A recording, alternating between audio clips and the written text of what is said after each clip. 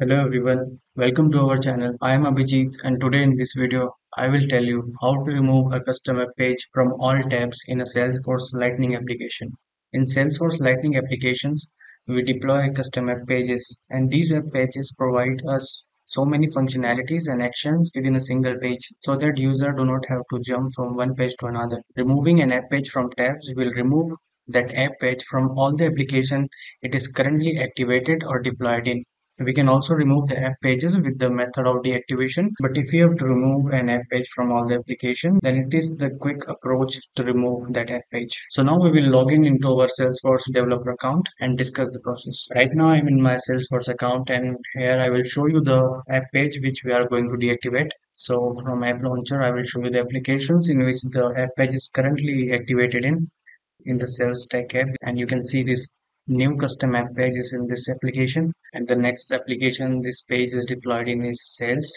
Here you can see new custom app page. So now go back to your home page of salesforce lightning uh, by clicking this gear icon. So right now i am in the home page and here in the quick find box search for tabs and click on these tabs. And you will see this tab set window and in the list of lightning page tabs you will see the custom pages and this was the custom page which we have decided to deactivate so just simply click the delete button which is here.